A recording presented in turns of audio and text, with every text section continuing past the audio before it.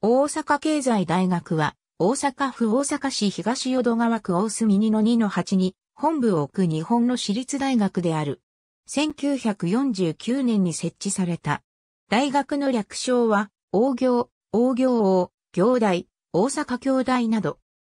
社会科学、人文科学系の私立大学で、学校法人、波小学園の創立者である、徳永史郎により、1932年に大阪府中河内郡小坂町に設立にされた、何和高等商業学校を源流とし、2012年に大阪経済大学80周年記念事業を行った。何和高等商業学校は、紛争により、講師陣や学生を引き継いで1935年に、その設置者を財団法人昭和学園に、その名称を昭和高等商業学校に変更した。大阪経済大学は、昭和高等商業学校を前身とする大学と位置づけているようであるが、制度上は何和高等商業学校から昭和高等商業学校への名称変更である。大阪メトロ今里筋、千随港4丁目駅からは徒歩約2分。阪急京都線上新庄駅から徒歩約15分に位置し、4年生大学としては数少ない大阪市内に主要キャンパスを有する都市型大学である。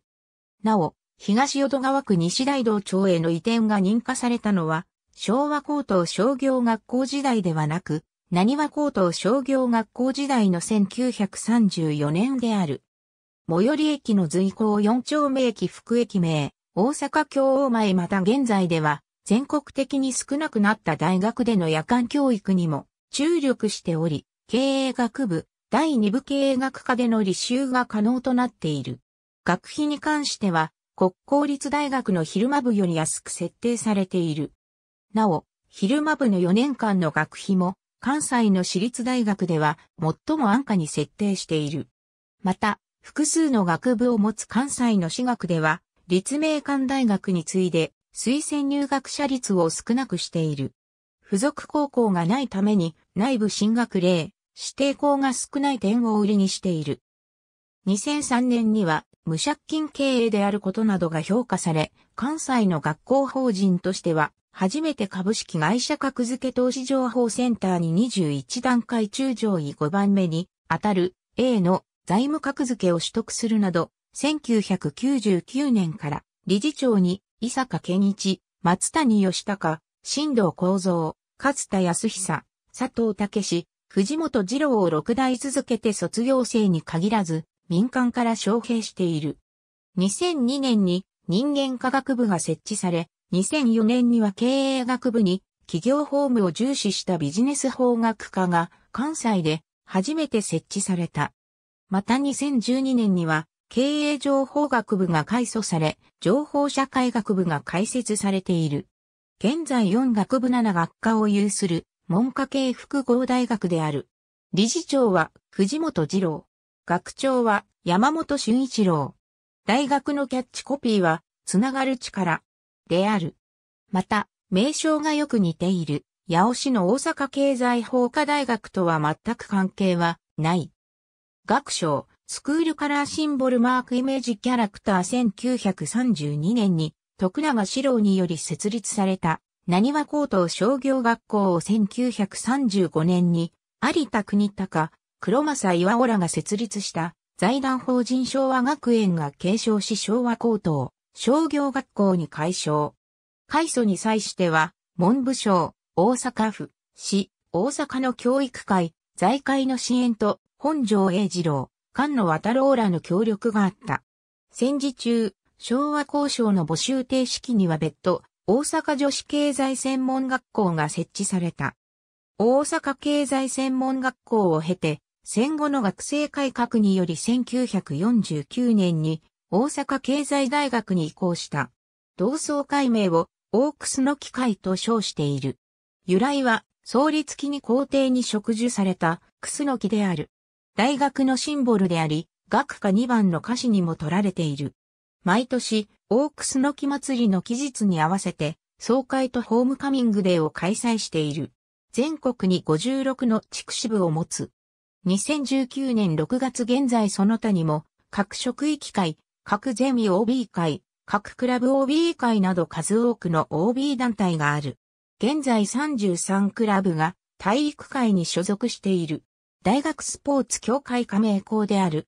教員免許人間科学部には健康、スポーツコースがあり、保健体育の中学校、高等学校教諭一種免許状が取得可能となっている。大隅キャンパス東学のメインキャンパスである。A 館がある大喜利コーチとメインコーチに分かれており、メインコーチは道路によってさらに西コーチ、東コーチ、南コーチに分かれている。2002年から2004年にかけて1000人規模のホールを備えた A 館、カフェテリア、大学院専用フロアなどのある B 館、多目的ホール、屋上庭園、自習室などを備えた C 館を整備し、2010年から2013年にかけて学生会館、体育館、J 館、図書館、D 館を整備した。情報教育設備は D 館にある。また E 館館には Wi-Fi 環境を整備している。瑞光四丁目駅の開業や阪急上新庄駅に快速も停車するようになり交通アクセスが良くなっている。B 館50周年記念館扇町センター、北浜キャンパスのある大阪証券取引所ビル、北浜キャンパス、大阪証券取引所ビルに開設したサテライトキャンパス。社会人向け施設。社会人大学院、イブニングスクール、ビジネスパーソン向け公開講座などを開設し、社会人のリカレント教育に積極的に取り組んでいる。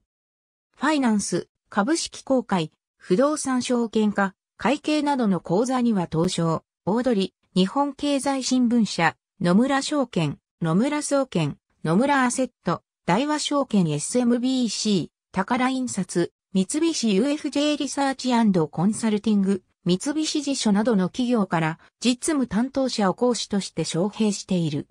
客員教授にも各界の専門家、実務家を迎えて、より実践的な教育に力を入れている。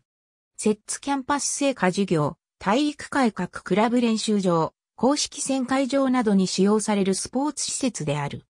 人工芝のセッツグラウンドを中心にテニスコート、第2体育館、クラブハウスなどで構成されている。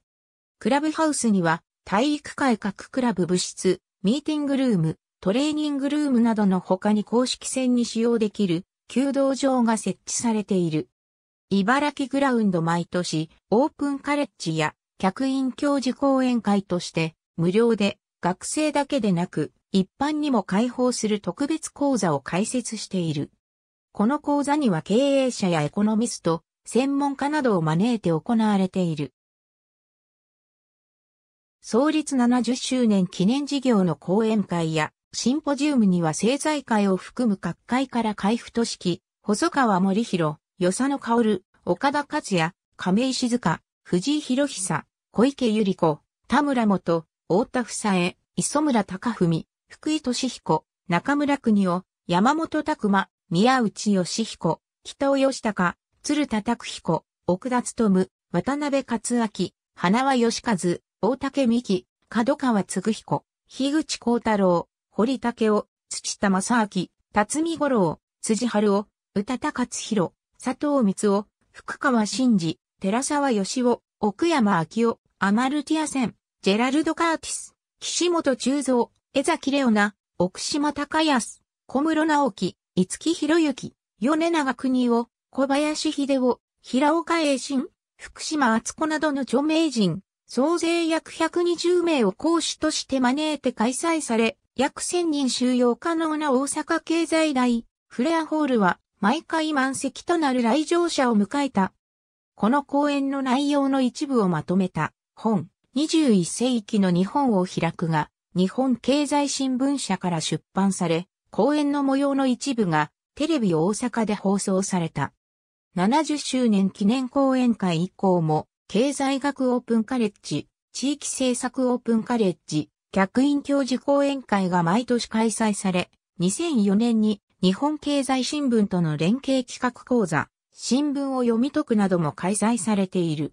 2020年4月現在大阪経済大学 IC カフェ内にて毎週収録していた。放送は、テレビ、大阪土曜深夜26時女子弓道部が出演。体育会 TV 弓道部に勝利。鉛筆はなぜ六角形なの？鶏の卵はなぜあの形？の回答で登場。ありがとうございます。